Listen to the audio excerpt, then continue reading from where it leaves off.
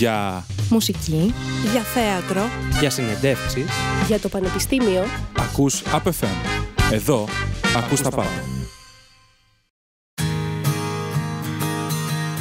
Web Radio EAP. Το ελληνικό ανοιχτό πανεπιστήμιο είναι κοντά σου.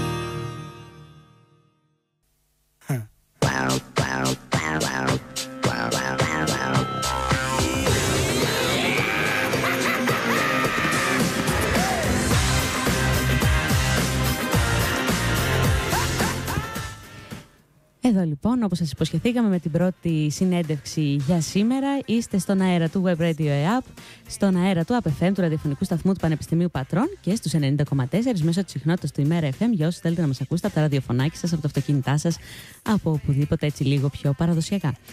Ε, ξεκινάμε λοιπόν και σήμερα την, ε, την εισαγωγή, το ξεκίνημα θα μας κάνει ο κύριος Γιώργος Τρυπαναγνωστόπουλος ε, από το περίπτερο 79. Καλή σας ημέρα. Καλημέρα σας. Ευχαριστούμε πάρα πολύ που ήρθατε να μας δώσετε αυτή τη συνέντευξη. Ο τίτλος του περιπτέρου είναι «Ενεργειακές εφαρμογές στα θερμοκήπια», σωστά; Γενικά θερμοκηπιακές μονάδες ε, και επικεντρωνόμαστε πιο πολύ σε τρία σημεία. Ποια είναι αυτά τα τρία σημεία; είναι η ερώτηση Οι που ενεργειακές βγήκε. εφαρμογές είναι ένα, ένας ευρύς τομέας που θα μπορούσαμε να πιάσουμε πάρα, πάρα πολλά θέματα. Εμείς ασχολούμαστε πιο πολύ με την ε, τοποθέτηση φωτοβολταϊκών σε θερμοκηπιακές μονάδες, Ωραία. Με ε, συνδυασμό ενεργειακών γυαλιών στα θερμοκήπια Μμμ. και ε, με την επεξεργασία, ε, μάλλον με κατάλληλες ε, νανοδομές που κοιταμε για να μπουν ε, ε, μια επίστρωση ειδική στα φωτοβολταϊκά και με φακούς προσανατολισμού που είναι η βασική ιδέα κοινοτομίας ε, που φέρνουμε. Ο στόχος είναι να εξοικονομήσουμε ενέργεια ή να έχουμε πιο καλά αποτελέσματα. Ο στόχος ενός θερμοκηπίου βασικά Ναι. είναι να βγάζει ένα, μια πολύ καλή παραγωγή Μμμ.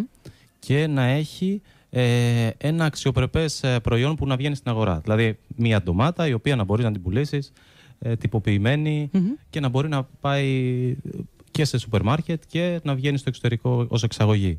Όμως από εκεί και πέρα ένα θερμοκήπιο έχει πολλές ενεργειακές ανάγκες. Όταν μιλάμε για θερμοκήπιο το οποίο είναι μαζικής ε, μεγάλης παραγωγής ε, οργανωμένα.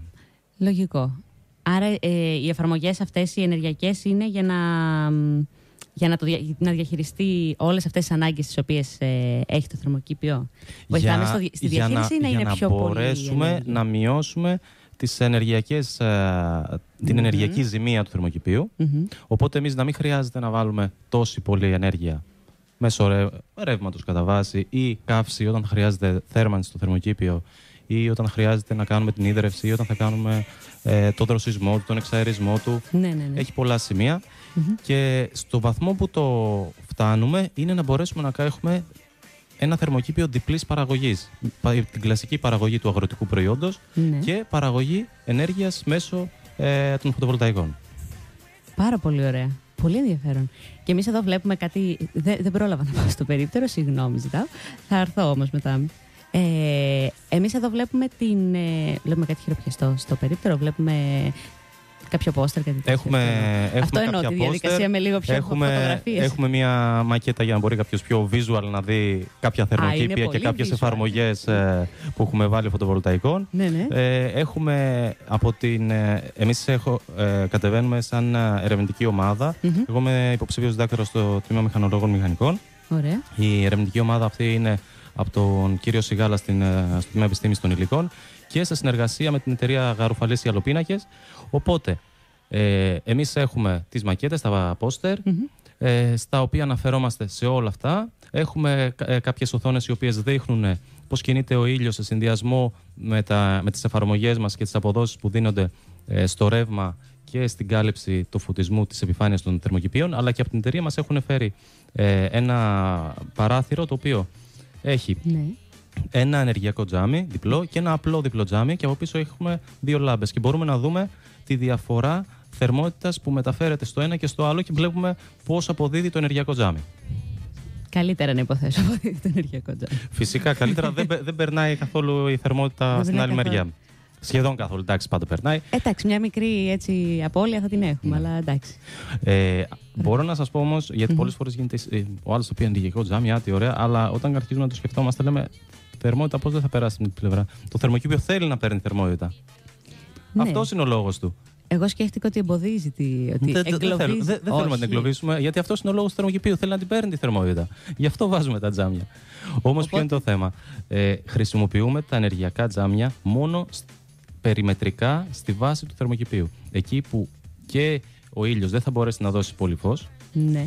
και έχουμε μεγάλες απώλειες σε θερμότητα προς τα έξω λόγω της ε, επαφής με το έδαφος και στη βάση του θερμοκηπίου συνήθως είναι ε, το, το ύψος της ε, καλλιέργειάς μας. Και στο υπόλοιπο κομμάτι του θερμοκηπίου βάζουμε κανονικά Α, τζάμια είναι για να το κανονικό πάμε. το τζάμι. Ναι, ναι, ναι. Άρα η βάση γύρω-γύρω το Ναι, ναι, ναι, ναι, ναι. περιτύλιγμα γίνεται με τα ενεργειακά. Πάρα πολύ ωραία. Τώρα, το πιο βασικό κομμάτι βέβαια είναι το θέμα της εφαρμογής των φωτοβολταϊκών. Είχαμε κάνει κάποιες έρευνες πιο πριν, ε, ένα διάστημα πιο πριν, και είχαμε βρει ότι ε, στην νότια πλευρά του θερμοκηπίου μπορούμε να καλύψουμε ένα τρίτο οροφής με φωτοβολταϊκά και να μας δώσει ένα πάρα πολύ καλό προϊόν, ίσως και καλύτερο αν δεν είχε ε, τα φωτοβολταϊκά. Οπότε σιγά σιγά άρχισαμε να εξετάζουμε υπολογιστικά μέχρι πόσο μπορούμε να καλύψουμε την οροφή του θερμοκηπίου με φωτοβολταϊκά. Δεν μπορείς να την καλύψεις πλήρως, Ναι, σωστά. γιατί μετά δεν θα έχεις φως. Δεν θα έχεις φως αυτό. Ε, υπολογιστικά κοιτάξαμε ότι μπορούσαμε να φτάσουμε μέχρι το 50%. Μέχρι το 50%. Ε, σαν πραγματικό έχουμε κοιτάξει και έχουμε βρει προϊόντα τα οποία βγαίνουν ε, ε, μέχρι το 1, το 1 τρίτο, δηλαδή περίπου 33%.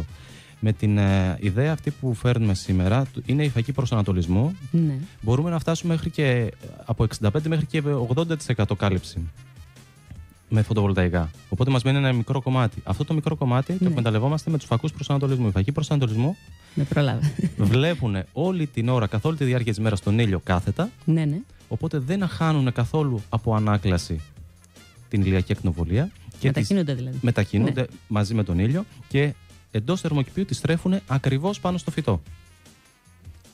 Wow. Οπότε δίνουν το φως απευθείας, όχι συγκεντρωτικά. δεν ναι, είναι ναι. δηλαδή φακοί που θα το κάψουν. Θα το κάψει αυτό πήγα να πάμε. Δεν είναι φακοί που το, Ναι, θα ναι, το ναι, κάψουν. ναι. Δηλαδή δεν μαζεύουν περισσότερη ηλιακή ακτινοβολία. Μμμ. Μαζεύουν τόσοι όσοι παίρνουν, αλλά πάντα ε, κάθετα. χω- Δηλαδή δεν χάνει από ανάκλαση. Χάνει ένα, εντάξει, ένα λογικό ποσοστό, δεν χάνει τα, τα μεγάλα ποσοστά που θα έχανε αν ήταν μεγάλες οι γωνίες. Είναι μεγαλύτερα τα κέρδη προφανώς από τις Φυσικά. απώλειες, οπότε γι' αυτό. Και επίσης, Μμμ. ε, το άλλο που κερδίζει και γι' αυτό μπορούμε να φτάσουμε μέχρι και το 80% είναι ότι ένα θερμοκήπιο Μμμ. δεν καλύπτεται στην επιφάνειά του, στο έδαφος της επιφάνειας, στην επιφάνεια του εδάφους, συγγνώμη, Ναι, ναι. ε, πλήρως με φυτά. Έχει την απόσταση που απαιτείται κάθε φυτό να είναι από 20 μέχρι 40 εκατοστά, αλλά και τους διαδρόμους που περνάει ε, ο άνθρωπος που κάνει τις τις καλλιεργητικές φροντίδες. Ναι. Πράγμα που σημαίνει ότι αυτές τις επιφάνειες του εδάφους, Μμμ. αν τις μεταφέρουμε στην οροφή, Ναι. είναι χαμένη η ηλιακή ενέργεια που πηγαίνει μόνο στο χώμα. Άρα αυ- εκεί μπορούμε να το αξιοποιήσουμε για φωτοβολταϊκά. Γι' αυτό ο φακός προσανατολισμού που στρέφει κατευθείαν πάνω στο φυτό μπορεί να βοηθήσει το φωτοβολταϊκό να φτάσει στο 80%. Έτσι όπως το είπατε, το έχω στο μυαλό μου σαν τέτρις. Είναι κάτι σαν τέτρις. Πάρα πολύ ωραία. Νομίζω ότι όποιος θέλει να το δει αυτό έτσι λίγο πιο παραστατικά, ε, μπορεί να περάσει μια βόλτα εδώ από το IQ. Είστε στο περίπτερο 79. Στο περίπτερο 79, ε, όποιος θέλει μπορεί να ρωτήσει τα πάντα. Ε, είμαι και εγώ προσωπικά, είναι και ο κύριος Σιγάλας από την επιστήμη, ο, ο κύριος καθηγητής, είναι και ο εκπρόσωπος από την εταιρεία τη Γαρουφαλή. Ε, και οτιδήποτε μπορεί να μας θέσει σαν ερώτημα είναι, ε, είναι είναι καλοδεχούμενο διότι πάντα κάθε ερώτημα φέρνει και κάτι επόμενο για να μπορούσουμε εμείς να εξετάσουμε. Ναι, και αυτό που λέω, εγώ, συ- που, που όλοι το λέμε, είναι λίγο κοινότυπο, αλλά δεν υπάρχουν χαζές ερωτήσεις. Γιατί καμιά φορά από αυτό που κάποιος θεωρεί την πιο χαζή ερώτηση μπορεί να βγει κάτι πολύ. Όχι καινοτόμο, αλλά είναι ένα, μια ερώτηση η οποία είναι αντικειμενική και να χρειάζεται. Όλα χρειάζονται. Όλα γιατί χρειάζεται, πρέπει- ναι. Όταν, όταν κάνεις κάτι, πρέπει να το κοιτάς σφαιρικά. Και πάντα, ε, όταν, κάνεις, ε, όταν ξεκινάς μια έρευνα, πρώτα κάνεις τη θεωρητική μελέτη, μετά κάνεις μια υπολογιστική μελέτη και πας κάποια στιγμή να καταλήξεις στην πειραματική μελέτη που θα και σου στο δώσει ένα πρακτικό. αποτέλεσμα. Ναι. Ε, όσα πράγματα, ακόμα και στο πρακτικό κομμάτι, μπορεί να υπάρχουν κάποιοι παράγοντες οι οποίοι δεν βοηθούν ή βοηθήσανε και τελικά το, το αποτέλεσμά σου είναι πλασματικό. Μμ. Ε, αλλά συνήθως στις ε, θεωρητικές και υπολογιστικές προσεγγίσεις υπάρχουν ζητήματα τα οποία δεν μπορείς να τα έχεις πάντα στο μυαλό σου που θα συμβούν στην πραγματικότητα. Και ένας που έρχεται εξωτερικά βλέπει τα πράγματα με διαφορετική οπτική γωνία. Και πάντα η ερώτησή του είναι τέτοια η οποία μπορεί να σου δώσει ε, βοήθεια. Γιατί είναι αυτός ίσως που τα ζει, ίσως είναι αυτό. Αν είναι κάποιος που Αν τα είναι ζει, κάποιος ακόμα που τα ζει, καλύτερα. είναι το λίγο πιο. Ακόμα καλύτερα. Πάρα πολύ ωραία. Σας ευχαριστούμε πάρα πολύ. Και εγώ να σας ευχαριστώ. αποδεσμεύσουμε να πάτε και στο περίπτερο. Καλή συνέχεια εύχομαι Καλή συνέχεια και σε εσάς. και καλή σας ημέρα. Επίσης. Για, Μουσική, επιστήμη, για ταξίδια, για την παρέα, για θέατρο, διασκέδαση, για νέες κυκλοφορίες, κινηματογράφο, για συνεντεύξεις, για σαρδρα... σαρδάμ, το περιβάλλον. για διαγωνισμούς, για ενημέρωση. για διάλογο. Τι είπατε; Λέω για διάλογο. Για το πανεπιστήμιο Ακούς APFM. Εδώ ακούς τα πάντα.